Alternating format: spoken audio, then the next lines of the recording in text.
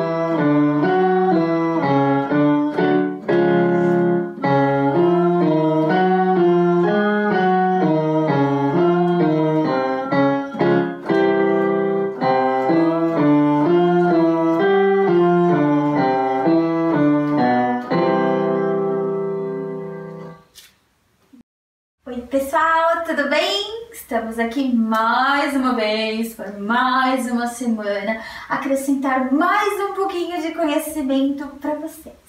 E para mim também, no caso, né? Porque todo mundo aqui já sabe que eu sou estudante mesmo, né? Então vamos embora. Acabamos de fazer alguns exercícios agora e eu dei o início nas aulas anteriores falando sobre as notas de terças, que é primeira, segunda, terceira.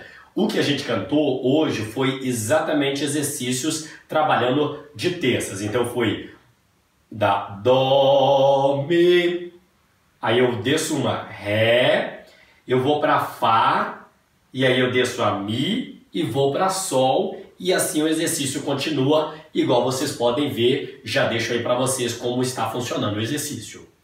Por que, que a gente está trabalhando com notas de terças? Exatamente que a gente está criando uma atmosfera, criando um caminho que vai nos levar à harmonia, que é alguns dos próximos exercícios. O que, que é isso? A gente está trabalhando de forma que você consiga cantar no coral a, a sua própria voz. Então, se você é soprano, você vai cantar soprano. Se você é contralto, você vai cantar contralto. Ou se você é tenor ou baixo, ou indiferente de qual voz, você vai estar hábil porque habilitado, na verdade, para cantar essa voz de uma forma bem tranquila, porque você vai saber discernir cada notinha dentro do seu lugar. Por isso que eu estou trabalhando dessa forma, tá bom? Amém, Senhor. e outra coisa muito interessante, hoje a gente trabalhou somente com o A. A gente trabalha com o A, lembrando que a língua é relaxada, o maxilar relaxado, ah, porque se você faz Uh, é a mesma coisa, por exemplo, se você vai bocejar. Ah, estou cansado. Ah, ah. O posicionamento apropriado para fazer esses exercícios. Ah, ah,